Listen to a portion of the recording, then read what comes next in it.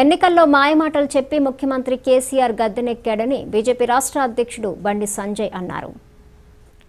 దుబ్బాక ఉప ఎన్నికల ప్రచారం నిమిత్తం బీజేపీ రాష్ట్ర అధ్యక్షుడు బండి సంజయ్ మాట్లాడుతూ ఎన్నికల్లో మాయమాటలు చెబుతూ ఇచ్చిన హామీలను ఇప్పటికీ నెరవేర్చని టీఆర్ఎస్ ప్రభుత్వానికి పాలించే హక్కు లేదన్నారు.